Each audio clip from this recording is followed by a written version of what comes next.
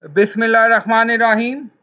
Assalamualaikum. My name is Hassan and today we are going to fix issue composer detected issue in your platform. Your composer dependency require PHP version greater than 7.2.5.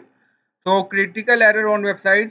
So we are going to fix this before starting work. It's my request. Please subscribe my channel. Thank you. Now back to our work. So we are going to upgrade PHP version.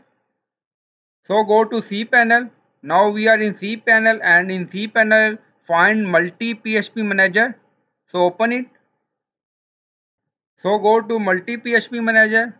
So this is our domain and our current PHP version is PHP 7.0. So we are going to upgrade it. So select domain and then on drop down select 8 or 7.3 or 7.4 and click on apply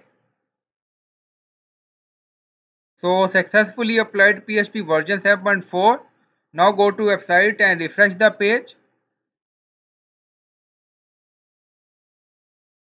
Now website is working fine. I hope you like this video. Please like, comment, share, subscribe. Thank you for watching.